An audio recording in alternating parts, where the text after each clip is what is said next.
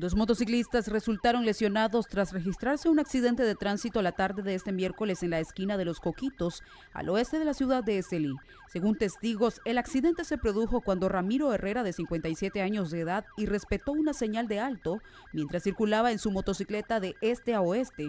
Según declaraciones de Herrera, no observó a ningún otro motociclista movilizándose en la intersección. Sin embargo, Douglas Garay, de 69 años, quien circulaba de sur a norte y tenía la preferencia, fue impactado, lo que resultó con lesiones para ambos conductores.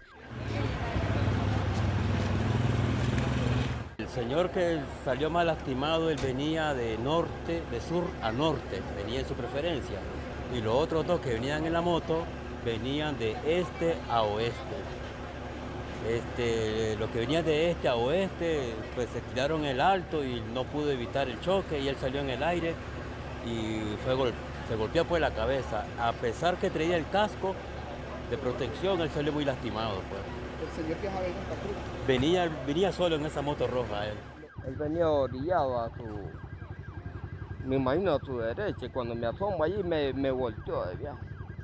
¿Usted se golpeó? Sí, poco, sí. Pero aquí estamos esperando a ver qué, qué hay, y que venga la policía para ver cómo, pero el, el, el chaval se retiró.